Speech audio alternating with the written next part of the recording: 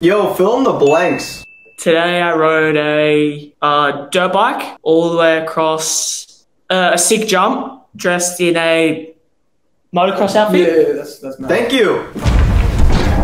I immediately packed my bags and headed to Kansas where they have the craziest freeride motocross course in the country. The only problem, I haven't rode a dirt bike since I was like 8 years old. Luckily when I got there though, they had these mini pit bikes to warm up on, and after a terrible practice session, it was time to hit the real course. And at this point, my nerves were through the roof, but it was too late to back out now. And with my legs shaking and the crowd going crazy, there was only one thing left to do.